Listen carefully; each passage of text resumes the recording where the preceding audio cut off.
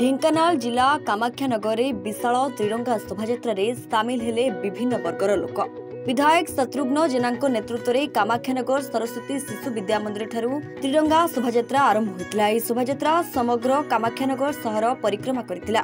ଶୋଭାଯାତ୍ରାରେ ଆର୍ଏସ୍ଏସ୍ ବଜରଙ୍ଗ ଦଳ ବିଶ୍ୱ ହିନ୍ଦୁ ପରିଷଦ ବିଜେପି ଯୁବମୋର୍ଚ୍ଚାଙ୍କ ସମେତ ସଂଗଠନ ସାମିଲ ହୋଇଥିଲେ। ତେବେ ଦେଶ ପାଳୁଛି ଆଜାଦୀ କା ଅମୃତ ସାଲ ଅଠସ୍ତରୀତମ ସ୍ୱାଧୀନତା ଦିବସରେ ବିଭିନ୍ନ ଅଞ୍ଚଳରେ ତ୍ରିରଙ୍ଗା ଶୋଭାଯାତ୍ରାକୁ ମହା ଆଡମ୍ବରର ସହକାର ପାଳନ କରାଯାଉଛି। ତେବେ ମାନ୍ୟବର ପ୍ରଧାନମନ୍ତ୍ରୀ ନରେନ୍ଦ୍ର ମୋଦିଙ୍କ ଆହ୍ୱାନକୁ ସ୍ୱାଗତ କରିଛନ୍ତି କାମାକ୍ଷାନଗର ଅଞ୍ଚଳବାସୀ। କାଲି ଆସନ୍ତାକାଲି ପନ୍ଦର ତାରିଖ ଭାରତବର୍ଷର ଅଠସ୍ତରୀତମ ସ୍ୱାଧୀନତା ଦିବସ ପାଳନ ହେବ। ତା ପୂର୍ବରୁ ପ୍ରିୟ ପ୍ରଧାନମନ୍ତ୍ରୀ ନରେନ୍ଦ୍ର ମୋଦିଙ୍କର ଆହ୍ୱାନ କ୍ରମେ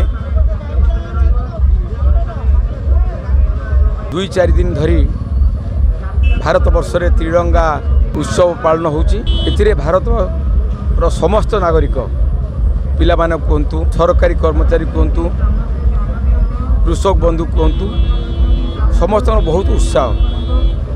ଏବଂ ବାସ୍ତବରେ ମୁଁ ଧନ୍ୟବାଦ ଦେବି ଏ ଯେଉଁ ତ୍ରିରଙ୍ଗା ପତାକା ଯେଉଁ ଅଗଷ୍ଟ ପନ୍ଦରରେ ଆମେ ପାଳନ କରୁଛେ। ପବିତ୍ର କୁମାର ବିଶ୍ୱାଳ ଜିଲ୍ଲା ଉପସଭାପତି ଭାରତୀୟ ଜନତା ପାର୍ଟି। ଆଜି ଭାରତବର୍ଷର ଅଠସ୍ତରୀତମ ସ୍ୱାଧୀନତା ଦିବସ। ଏହି ଅଭି ସମୟରେ ଭାରତବର୍ଷରେ ନରେନ୍ଦ୍ର ମୋଦିଙ୍କ ପାଇଁ ଏକ ଆହ୍ୱାନର ଦିବସ।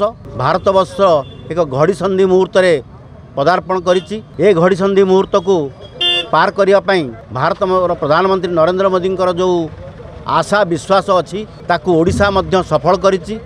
ଆଜି ଓଡ଼ିଶାରେ ମଧ୍ୟ ଡବଲ ଇଞ୍ଜିନ୍ର ସରକାର ମୋହନ ସରକାର ଅଢ଼େଇ ମାସ ଭିତରେ ଓଡ଼ିଶାରେ ମୋହନ ସରକାର ଯେଉଁ ପ୍ରକାର ବ୍ୟାପକ ଦୁର୍ନୀତିକୁ ପଦାକୁ ଆଣିବା ଏବଂ ଜନସାଧାରଣଙ୍କର ଉନ୍ନତି ପାଇଁ ବିଭିନ୍ନ ଯୋଜନାର ଆରମ୍ଭ କରିବା ବେହେରା ଭାରତୀୟ ଜନତା ପାର୍ଟି ସୋସିଆଲ ମିଡ଼ିଆ ଜିଲ୍ଲା ପ୍ରଭାରୀ ଢେଙ୍କାନାଳ ଜିଲ୍ଲା ଦେଖନ୍ତୁ ପବିତ୍ର ଅଠସ୍ତରୀତମ ସ୍ୱାଧୀନତା ଦିବସ ଅବସରରେ ଯଶସ୍ୱୀ ପ୍ରଧାନମନ୍ତ୍ରୀ ଶ୍ରୀ ନରେନ୍ଦ୍ର ମୋଦୀଙ୍କ ଆହ୍ୱାନ କ୍ରମେ ହର ଘର ତିରଙ୍ଗା କାର୍ଯ୍ୟକ୍ରମ ସାରା ଦେଶବ୍ୟାପୀ ଚାଲିଛି ତେଣୁ ଏହି ଅବସରରେ ଆଜି କାମାକ୍ଷାନଗର ନିର୍ବାଚନ ମଣ୍ଡଳୀରେ କାମାକ୍ଷାନଗର ହେଡ଼କ୍ୱାର୍ଟରରେ ଆଜି ଏକ ତିରଙ୍ଗା ଶୋଭାଯାତ୍ରା ଅନୁଷ୍ଠିତ ହେଉଛି।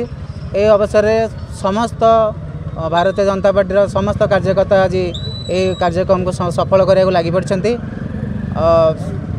ରାଷ୍ଟ୍ରୀୟ ସ୍ୱୟଂସେବକ ସଂଘ ବଜରଙ୍ଗ ଦଳ ଏବଂ ବିଭିନ୍ନ ପ୍ରକାର ଯେତେ କାର୍ଯ୍ୟକର୍ତ୍ତା ସମସ୍ତେ ଏଥିରେ ଯୋଗଦାନ ଦେବା ପାଇଁ ସମସ୍ତେ ଚେଷ୍ଟା ଚଲେଇଛନ୍ତି ଢେଙ୍କାନାଳରୁ ଅକ୍ଷୟ କୁମାର ନନ୍ଦଙ୍କ ରିପୋର୍ଟ ଏ ୱାନ୍ ଓଡ଼ିଶା